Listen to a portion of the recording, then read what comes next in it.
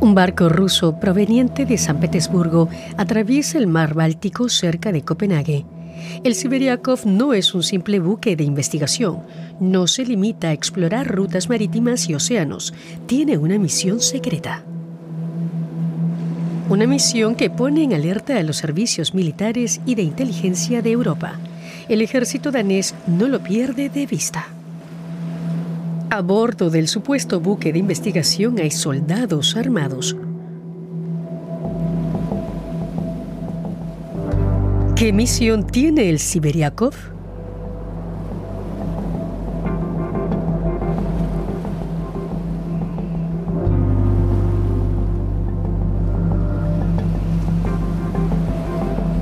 El mar Báltico se ha convertido en escenario de una nueva guerra fría.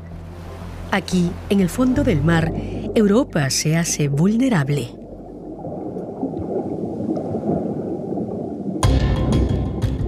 En el lecho marino yacen tuberías, cables de datos, líneas eléctricas, infraestructura crítica. De sufrir daños, millones de hogares se quedarían sin gas ni electricidad. Sería una situación catastrófica.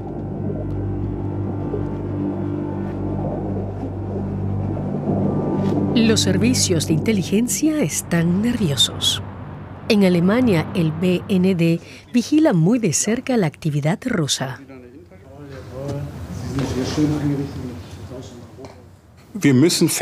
Que Rusia está dispuesta a recurrir a la fuerza contra infraestructuras, espiar, preparar sabotajes. Esto no lo constatamos únicamente a partir de la guerra de Ucrania. Estamos ante un peligro muy concreto. No es algo que vayamos a enfrentar de forma abstracta dentro de 10 o 20 años. La rapidez con la que Rusia está aumentando las tensiones y acelerando sus preparativos para poder actuar militarmente contra Occidente nos da motivos para vigilar de forma muy concreta esta amenaza de espionaje y sabotaje.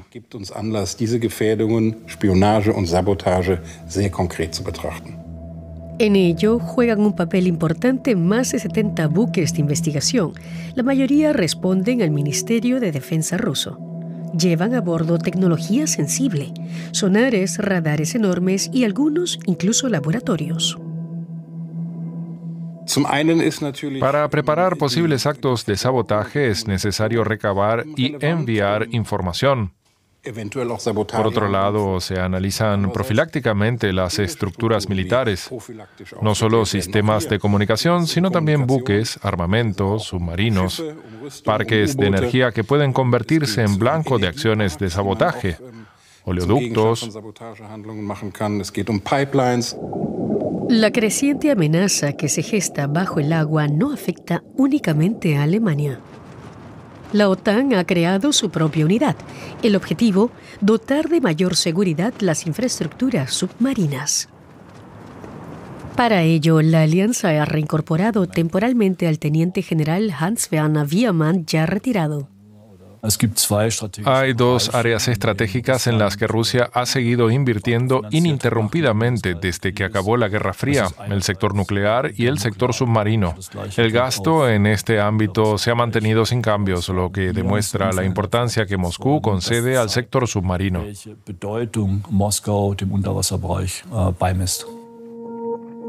Porque el fondo marino sería un importante escenario de guerra, un talón de Aquiles para Europa y Rusia lo ha sabido siempre.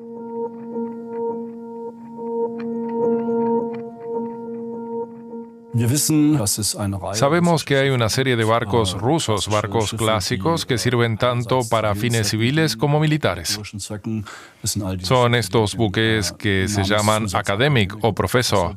Pueden estar equipados con tecnología de medición, por ejemplo, sensores acústicos de alta resolución o sistemas de video submarino. Obviamente, con esto pueden cartografiar la ubicación exacta de cables, oleoductos y prepararse por si llega el caso. El sistema de identificación automática AIS permite saber la posición de los buques y seguir sus rutas en tiempo real.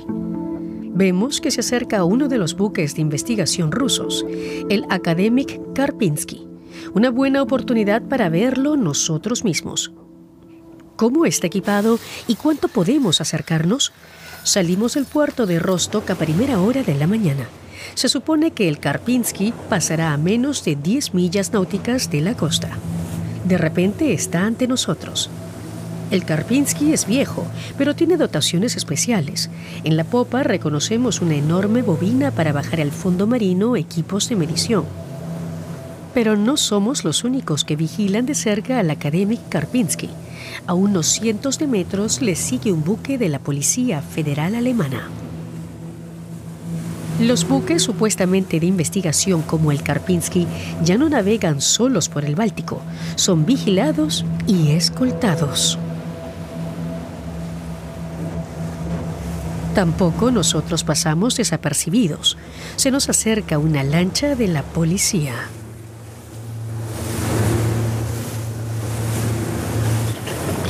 Subiremos a bordo para hacer un control.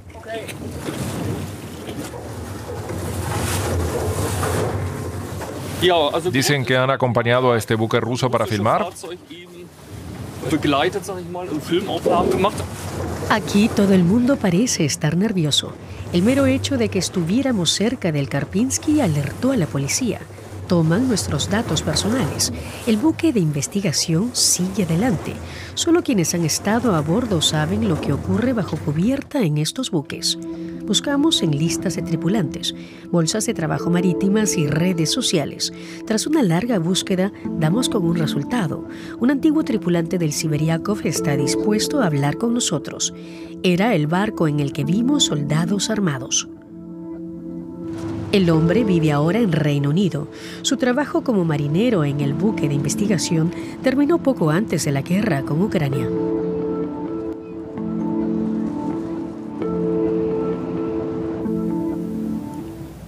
Por primera vez habla con periodistas sobre su estancia en el barco y aunque ha abandonado Rusia, pide mantener el anonimato. Teme por su familia, que sigue viviendo allí porque nos habla de secretos militares. Navegan en zigzag a poca velocidad cuando escanean el fondo marino. Eso siempre denota que están haciendo su trabajo real, el de espionaje. No quieren que se sepa cuando están trabajando. Si el barco va a la deriva con la corriente, significa que el motor está apagado. Eso es porque están usando el sonar y deben eliminar el ruido ambiente.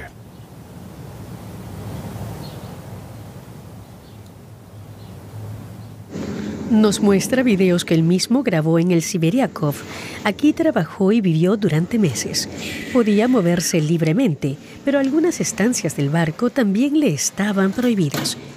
La mayor parte del tiempo, nos dice, el Siberiakov desconectaba su sistema de localización para que no lo detectaran. ¿Cuál es el objetivo de los buques de investigación rusos? Cualquier cosa que aparezca en el fondo del mar, ya sea un cable eléctrico o de Internet, es un objeto enemigo estratégico. Poder destruirlo en caso de guerra te da ventaja. La función de los buques de investigación es, por tanto, escanear el fondo marino y proporcionar esta información al ejército.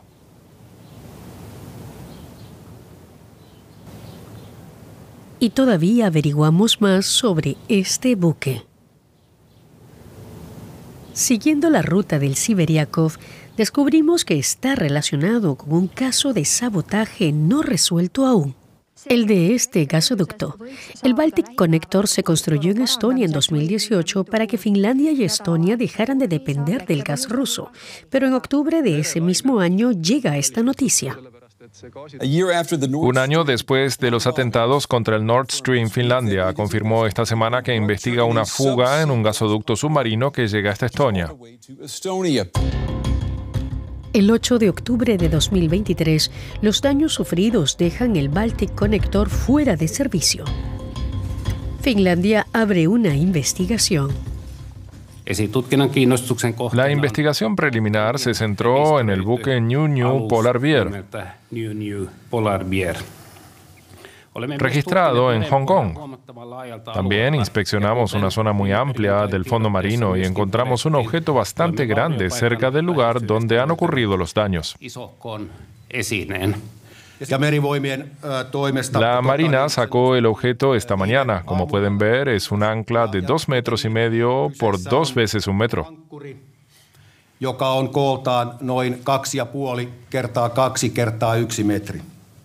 El ancla pesa casi 6 toneladas. Y este es el buque, el New New Polar Bear. Los investigadores siguen sin saber exactamente qué ocurrió en su travesía. Aún así, podemos reconstruir una parte. El 6 de octubre, el New New Polar Bear sale de Kaliningrado, en Rusia. Se avecina una tormenta. El buque echa el ancla y la arrastra más de 200 kilómetros por el lecho marino, sin que el barco se detenga. Más tarde, se produce una enorme fuga en el tubo. También se dañan tres cables de datos. Ni el Ministerio de Exteriores chino ni la naviera responden a nuestras preguntas. China ya ha admitido que el New New Polar Bear causó la rotura, supuestamente por error. Las investigaciones continúan. Stefan Krüger es ingeniero naval y también ha estudiado el caso. Que un ancla caiga por error como alega China es absurdo, nos dice. Un molinete de ancla es lo más rudimentario que hay. Tiene usted un enorme cabrestante con una cadena y un tope y un candado en la parte delantera para evitar que la cadena se salga accidentalmente. Es decir, si quiere soltar el ancla, tiene que retirar mecánicamente este voluminoso tope. Hay que quitar el candado y accionar el cabrestante. Y eso hace tanto ruido que todo el mundo a bordo se despierta porque los eslabones de la cadena son muy pesados. Hace un ruido infernal. ¿Cómo afecta esto a la teoría de que fue un accidente? Eso está completamente descartado, es imposible, a no ser que se estén tomando setas alucinógenas a bordo, no lo sé, pero desde un punto de vista puramente técnico es completamente imposible que no lo hagan de forma controlada y consciente. ¿Qué ocurrió realmente? ¿Hay más indicios de sabotaje calculado? Surgen rumores de que Rusia podría estar implicada en el caso queremos saber qué barcos se hallaban en la zona antes del accidente. Pero los sistemas de localización habituales no ayudan porque algunos buques no quieren que se los detecte, como sabemos por nuestro informante. Buscamos otra vía. Junto con periodistas de Noruega, Estonia, Países Bajos y Reino Unido, encontramos una solución. Desciframos mensajes en código Morse. Los buques de investigación rusos envían partes meteorológicos cada seis horas mediante mensajes en código Morse que contienen datos sobre la ubicación. Analizamos todas las señales en Morse de la zona. Estas de aquí, enviadas desde cerca del Baltic Connector, salen de un barco que conocemos, el Siberiakov, el barco con los soldados a bordo. En las semanas previas a la destrucción del Baltic Connector, sus datos de posición se alternan a derecha e izquierda del gasoducto, o sea, pasa varias veces por encima. No se puede demostrar con certeza si tuvo algo que ver con su destrucción. Sin embargo, estos movimientos llaman la atención. Los mensajes en Morse nos permiten trazar ahora la ruta y los movimientos de numerosos barcos de investigación que trataban de pasar inadvertidos. Nos llevará meses analizar los datos. Los buques de investigación alemanes también recogen información, con objetivos completamente distintos, pero tecnología similar. El DENEP pertenece a la Agencia Federal Marítima e Hidrográfica de Alemania y realiza mediciones importantes, por ejemplo, para los mapas marítimos. El capitán Andreas Thies y su tripulación analizan zonas poco profundas, anomalías en el lecho marino y pecios.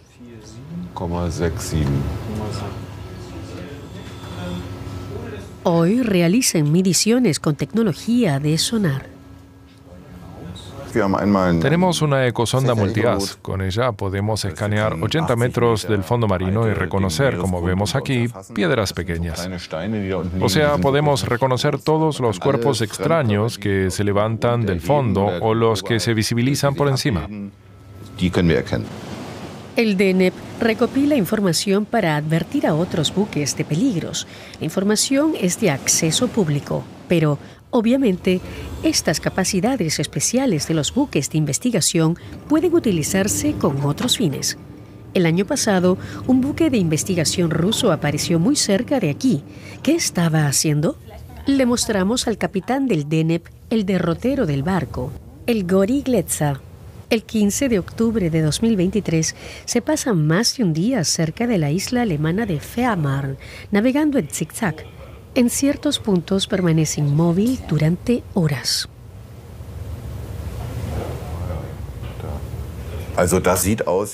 Parece la clásica maniobra de búsqueda. Er en principio cruza una y otra vez determinados puntos pasándoles por encima, pero con ciertas variaciones. Äh, y eso indica que están buscando algo alrededor de esas intersecciones. ¿Qué es lo interesante de esto? Ahí se puede sacar una imagen del fondo marino. Y con tecnología moderna de sonar también se pueden detectar objetos muy pequeños, de mucho menos de un metro.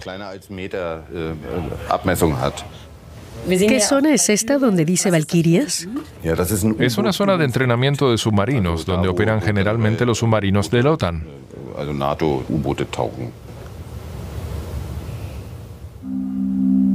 No se sabe qué hizo exactamente el Gorigletza, pero es poco probable que estuviese en la zona de submarinos por casualidad. A Rusia le interesa especialmente la tecnología de sensores, cómo se comunican estos submarinos, cómo controlan sus sistemas de armamento. Todos estos datos técnicos pueden recogerse en estas zonas y suponemos que eso es lo que hacen estos buques de investigación.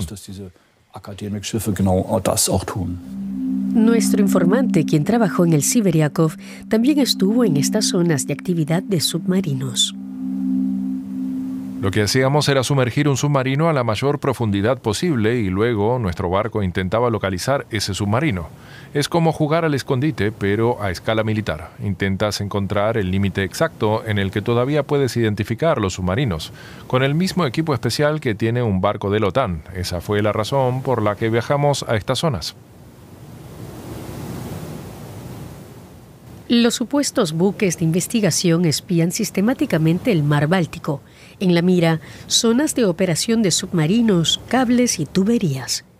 Una infraestructura oculta que rara vez es objeto de atención, como hace dos años. Se han descubierto varias fugas en los gasoductos Nord Stream 1 y 2 del mar Báltico. La voladura de los gasoductos Nord Stream fue este ataque en particular el que demostró lo vulnerables que son las infraestructuras en el mar.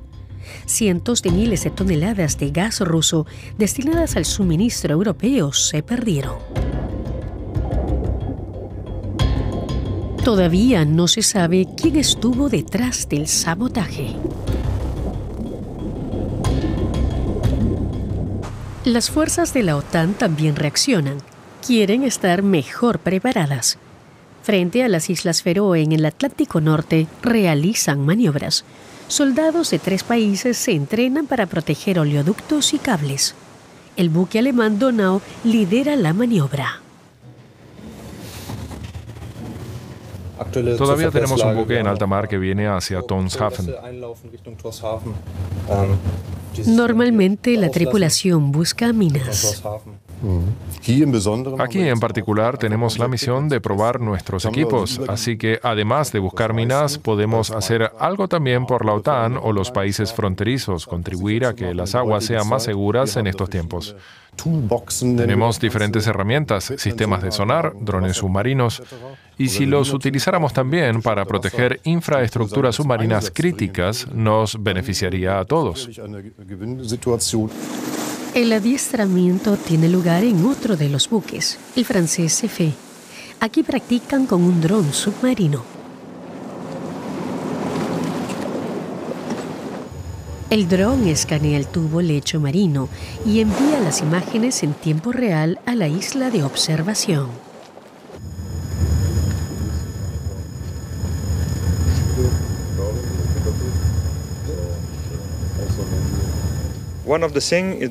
Aquí entrenamos a nuestros pilotos de drones. Aprenden a analizar objetos en la pantalla con un sonar, a distinguir entre una piedra normal y un objeto sospechoso. El objetivo es que los soldados reconozcan más rápidamente, por ejemplo, cables rotos o artefactos explosivos en tuberías como esta. Mientras la tripulación sigue trabajando en el puente, de repente llega un mensaje.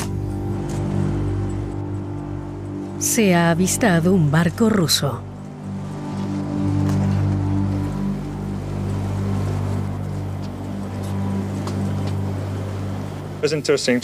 Siempre nos interesa tener imágenes de barcos rusos, incluso si se trata de embarcaciones civiles. Luego se las remitimos a las autoridades para que tengan una idea de la situación. Y si el barco resulta sospechoso, les podemos proporcionar información. La desconfianza en el mar es cada vez mayor. Aunque la Marina entrene aquí sus capacidades, no tiene aún la misión específica de proteger infraestructuras críticas.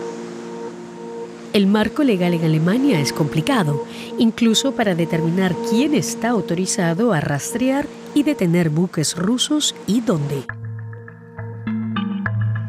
El mar se divide en zonas en las que, según la legislación alemana, son responsables distintas autoridades.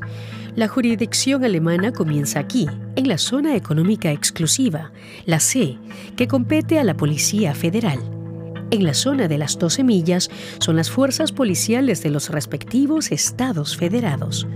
Aquí hay más capacidad de maniobra, en ambas zonas, la Marina presta apoyo cuando aparecen barcos espías rusos, pues sus capacidades son esenciales para la protección de infraestructuras críticas. Y sin embargo, sigue sin haber un mandato legal. Lo único que quiero es claridad, una misión clara, una asignación clara de competencias y sobre todo rapidez. En estos ámbitos debemos ser rápidos y tener una misión y una estructura de mando claras, que nadie tenga que vivir con la duda de si puede hacer algo o no. Y es que los retos que enfrentan los servicios de seguridad de Alemania son enormes. Desgraciadamente, bajo el agua no se pueden cercar las infraestructuras, no se pueden blindar del mismo modo que en tierra. No me parece realista creer que podemos vigilar y proteger cada metro de cable. También se temen posibles sabotajes en los grandes parques eólicos del Mar Báltico y del Mar del Norte, que deberán generar en el futuro la energía de 300 centrales nucleares. Europa ya no dependería del gas ruso, algo que Moscú parece tener siempre en la mira. En los parques eólicos detectan constantemente barcos en sus instalaciones y están nerviosos.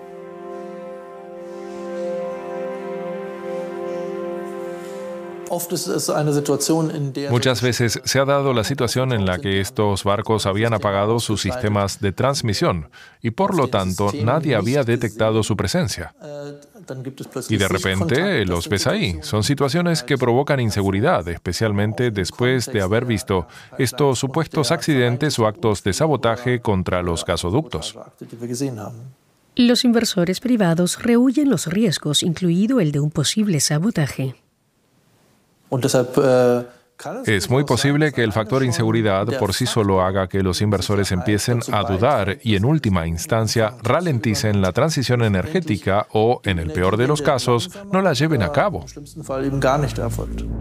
Lo que no se sabía en el momento de la entrevista es que en 2023 apareció en este parque eólico el Arkadis Ost 1, frente a la costa de Rügen, un barco ruso que nos pareció sospechoso ya durante nuestra investigación, el Gorikletsa, el barco que navegaba en zigzag por la zona de operación de submarinos.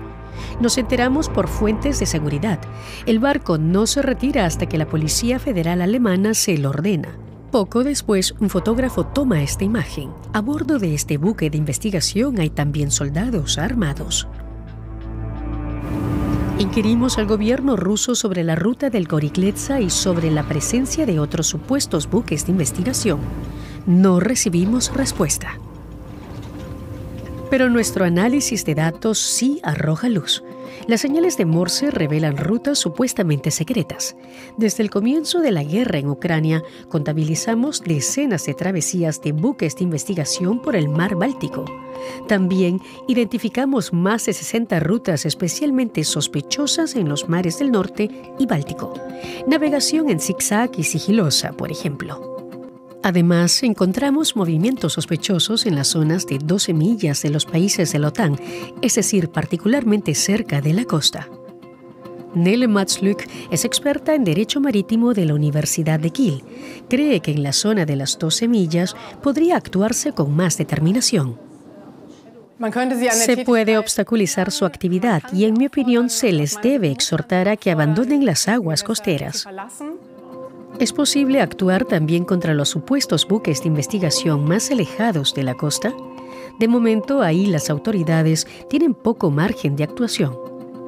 No existen leyes específicas, pese a que es donde se detectan los movimientos más sospechosos. Alemania va a la saga en cuanto a una regulación clara.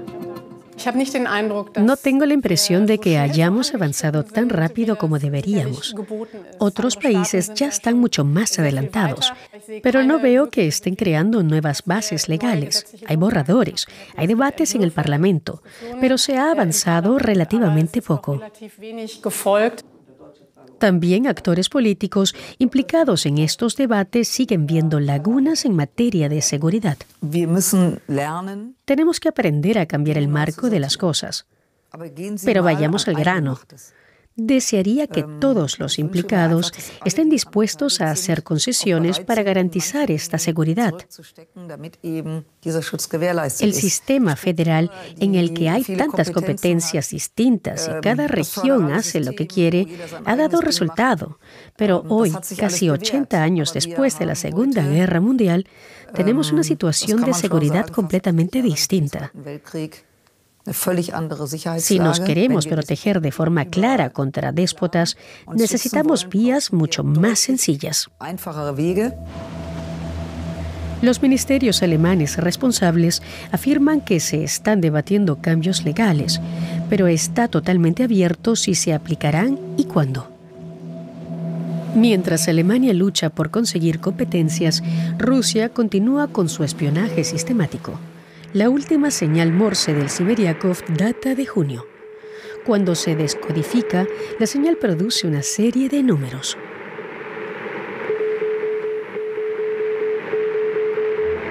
Esta serie de números nos indica su posición al noroeste de Dinamarca.